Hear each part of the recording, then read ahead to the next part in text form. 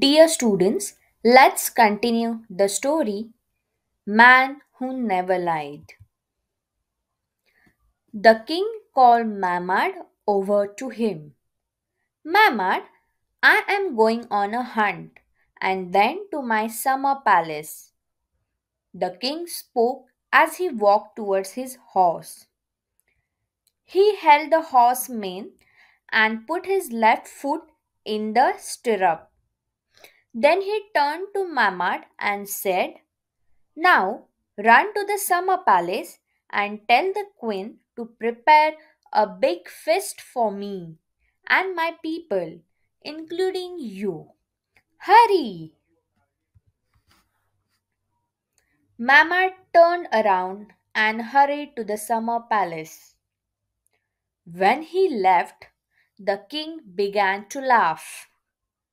I am not going anywhere today. Just wait till Mama tells this lie to the queen.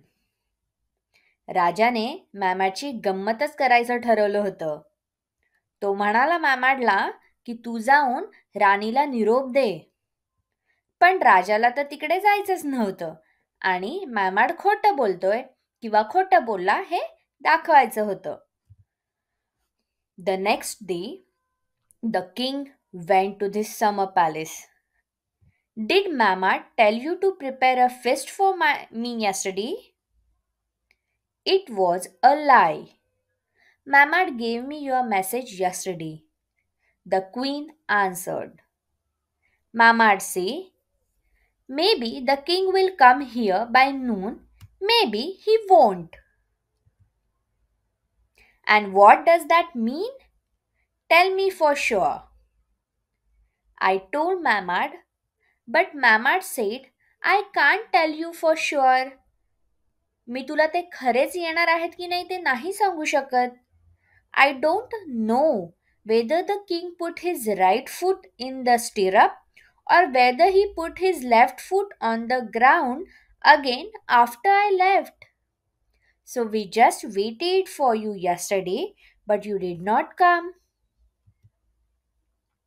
When the king heard this, he was taken aback. He agreed that Mamad was really a wise man who only spoke what he saw with his own eyes. Nothing more, nothing less.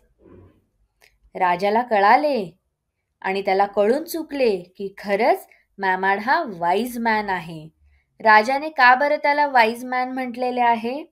कारण मॅमाड हा जो जे डोळ्याने बघतो तेच तो बोलतो. बोलताना किंवा सांगताना कुठेही खूप जास्त किंवा कुठेही कमी सांगत नाही. तर जे डोळ्यांनी पाहतो तेच तो सांगतो. त्यामुळे तो नेहमी खरे बोलतो.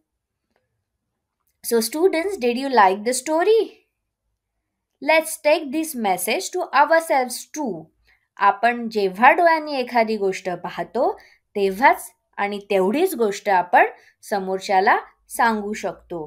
कुठेही जास्त किंवा कुठेही कमी आपण नाही सांगायची. थँक्यू